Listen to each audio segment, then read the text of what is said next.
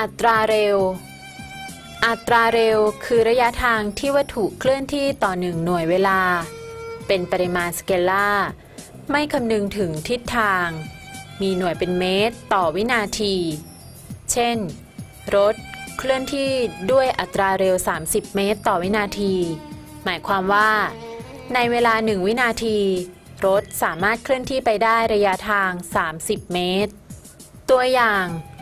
จงหาอัตราเร็วของการเดินทางจากกรุงเทพไปเชียงใหม่ ด้วยเส้นทางรถไฟระยะทาง 750 กิโลเมตร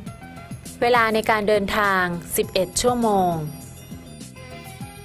วิธีทำ เนื่องจากอัตราเร็วมีหน่วยเป็นเมตรต่อวินาที ดังนั้นจึงต้องแปลงหน่วย จาก 750 กิโลเมตร คูณด้วย 1,000 เมตร จะเท่ากับ 750,000 เมตร และ 11 ชั่วโมง คูณด้วย 60 นาที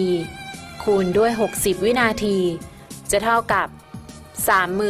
39,600 วินาที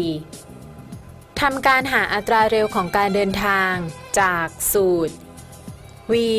เท่ากับ s ส่วน t คืออัตราเร็ว เท่ากับระยะทางส่วนด้วยเวลาทำการแทนค่าจากหน่วยที่แปลงไว้แล้ว จะได้อัตราเร็วเท่ากับ 18.94 เมตร ต่อวินาที เป็นคำตอบ